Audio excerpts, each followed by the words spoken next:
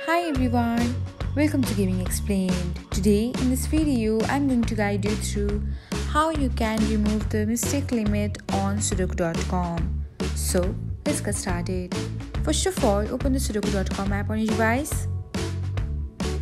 Now select on the me option and then tap on settings.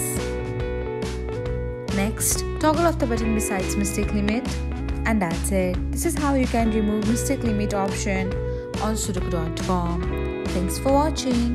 Don't forget to subscribe to our channel so that you'll never miss another gaming update.